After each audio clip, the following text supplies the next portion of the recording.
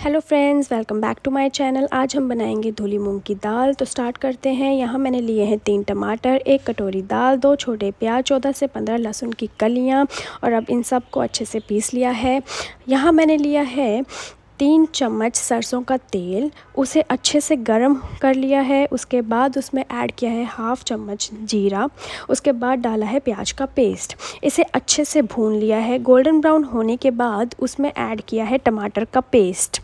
अच्छे से मिक्स करने के बाद उसमें डाला है एक चम्मच हल्दी पाउडर, डेढ़ चम्मच नमक, आधा चम्मच गरम मसाला, आधा चम्मच धनिया पाउडर। इसे अच्छे से पकने दिया है। जैसे ही टमाटर से तेल अलग हो गया है। उसमें ऐड किया है एक चम्मच घी और फिर उसे अच्छे से पकने दिया है। मसाले को अच्छे से पकाने के बाद उसमें ऐड किया है दाल और उसके बाद तीन ग्लास पानी। तो पानी डालने के बाद दाल को अच्छे से मिक्स कर लिया है मैंने मसाले और पानी में।